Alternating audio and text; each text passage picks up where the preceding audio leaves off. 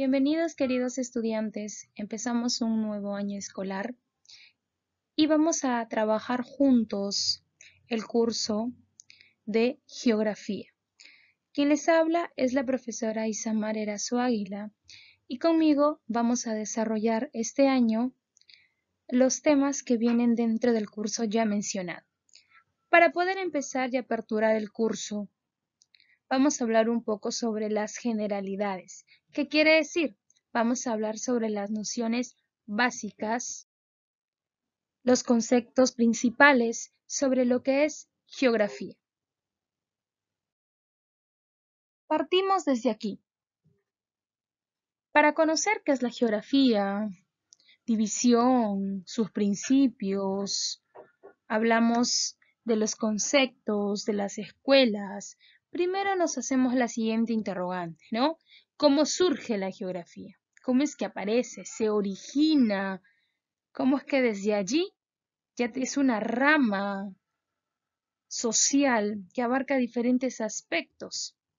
La geografía principalmente se remonta, inicia desde sus orígenes más antiguos, Incluso podemos afirmar que probablemente cuando el hombre visitó por primera vez un área desconocida.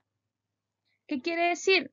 Que desde que el hombre estuvo en un espacio que no conocía, que recién estaba explorando, desde allí.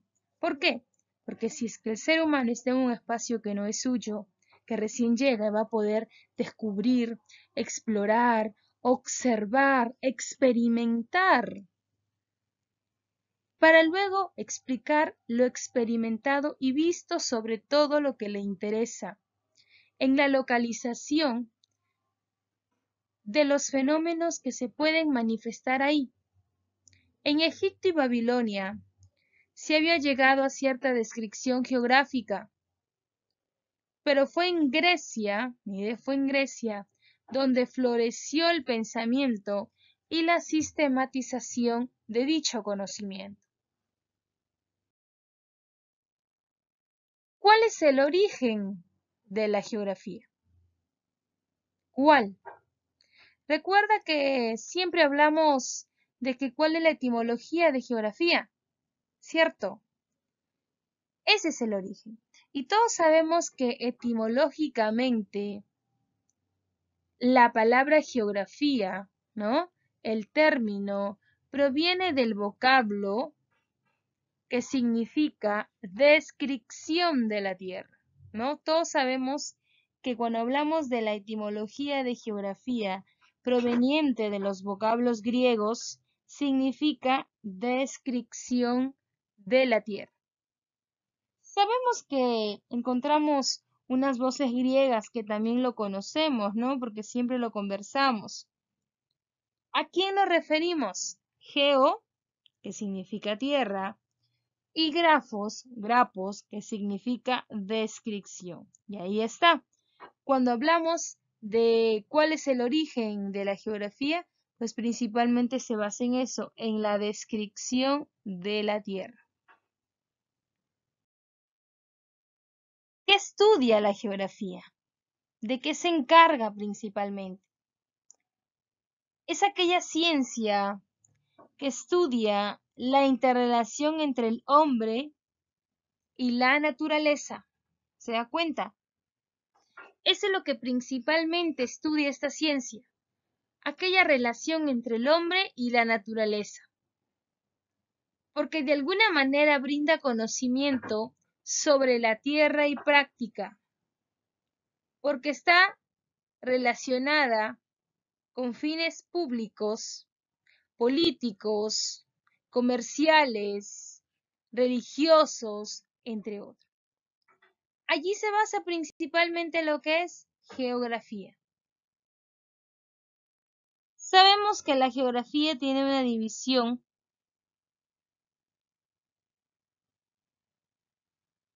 y principalmente cuando hablamos de esta división o hablamos de una definición de la geografía, empezamos por la definición. Según algunos autores, geógrafos, la definición de geografía ha ido cambiando, ha ido evolucionando. Principalmente en Manuel de Martone.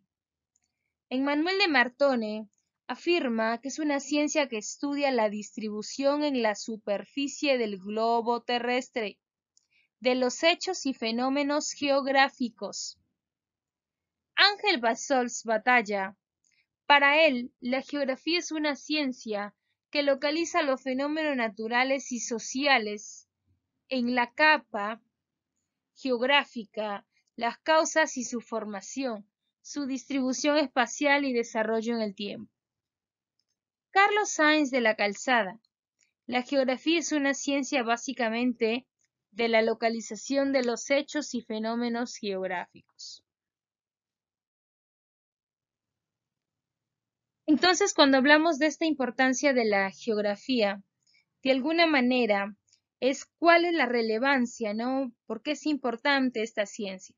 Sabemos que de alguna manera es importante para poder identificar, resolver problemas específicos que suceden entre el planeta, el ser humano, el espacio, entre otros.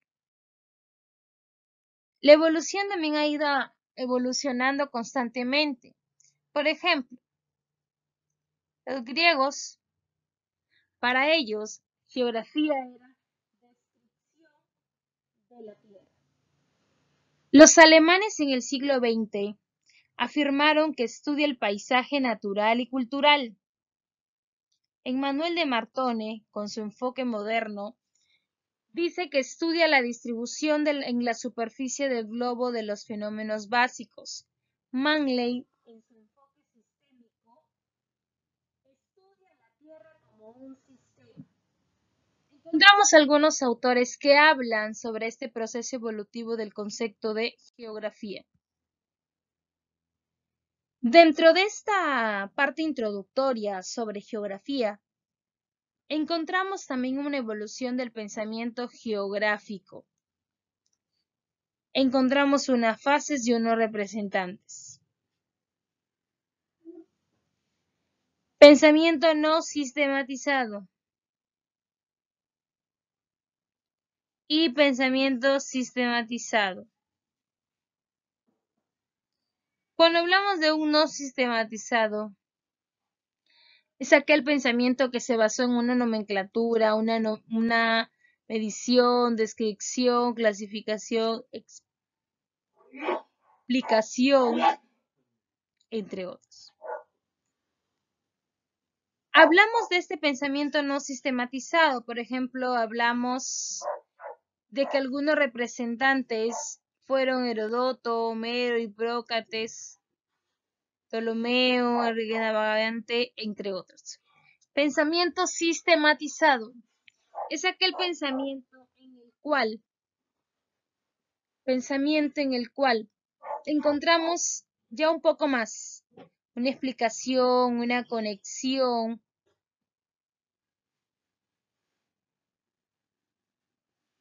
representantes que están aquí. James Coe, Foster, Carlos Darwin, Humboldt, Ritter, Ratzel, Vidal de la Blache, etc. Evolución de la teoría geográfica. Encontramos edad antigua, media y moderna.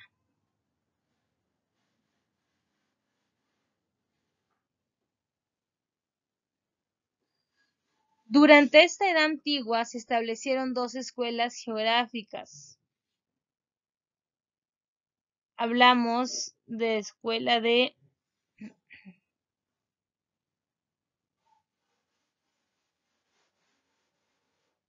Jónica y Alejandría. En la Edad Media, en Europa, la geografía, al igual que otras ciencias, sufrió un retroceso más conocido como periodo de oscurantismo predominó la concepción teocéntrica.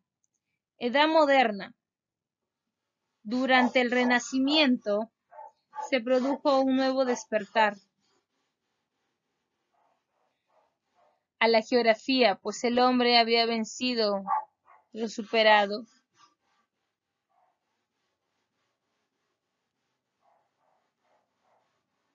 Edad moderna. Durante el Renacimiento se produjo el nuevo despertar de la geografía, pues el hombre había vencido y superado sus concepciones geocéntricas, lo que le permitió conocer nuevos lugares. Edad contemporánea. ¿Cómo es la geografía? Sabemos que en pleno, en pleno siglo XX evolucionó esta ciencia. El concepto fue cambiando de diferente forma, pero ha ido evolucionando cada vez más y más. De alguna manera, la geografía en la edad contemporánea es una ciencia de gran importancia. Hablamos de repente para trazar un mapa, hacer un gráfico, entre otros. ¿Cuál es el objeto de estudio de la geografía? Cuando hablamos de estudio, quiere decir que es en qué se basa principalmente esta ciencia. Está constituido por las interrelaciones que ocurren entre las entidades del ecosistema dentro del campo o esfera geográfica.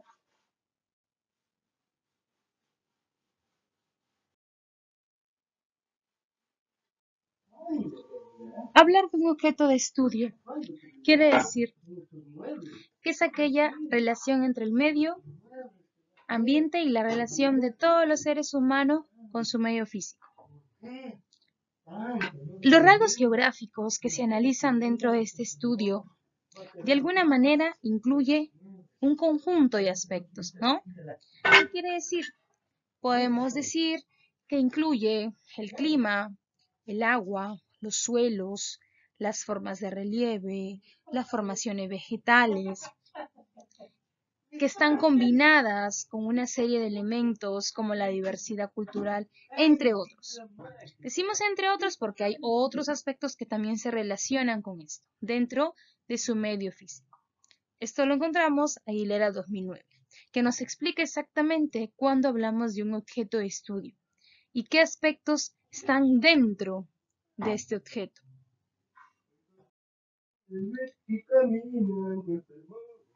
El espacio geográfico posee una serie de características. Sabemos que es un espacio geográfico cambiante. cambiante?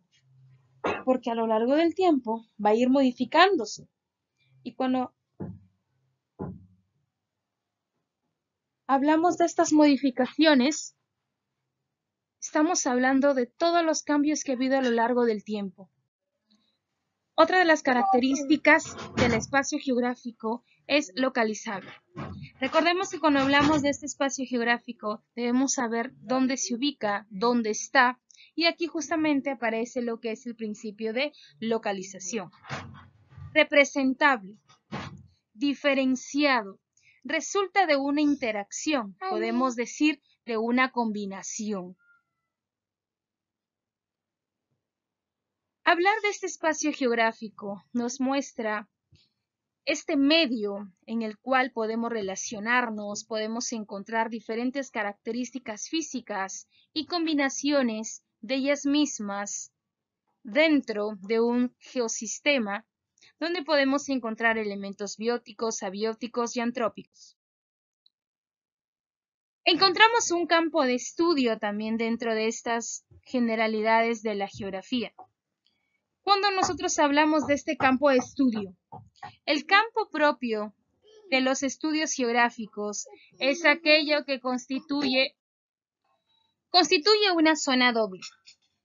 La zona inferior de la envoltura como de la atmósfera de la Tierra y la zona superior de la corteza sólida. Aquí estamos hablando principalmente de este campo de estudio de la geografía. Como nos podemos dar cuenta, son aspectos principales, fundamentales, conceptos básicos sobre lo que es geografía. Como es el primer tema, vamos a hablar de estos puntos fundamentales. Bien, esto es lo que vamos a trabajar en esta primera semana. Y mediante pasen las semanas ya tenemos los temas programados. Recordemos que también a través de la agenda Educay, porque vamos a continuar utilizándola nuevamente, vamos a dejar lo que es las actividades y las tareas para que ustedes las puedan devolver. ¿Alguna duda? Las vamos a aclarar en las clases que vamos a poder estar interactuando constantemente. Muy bien, me despido, que tengan un buen día. Gracias por su atención. Hasta luego.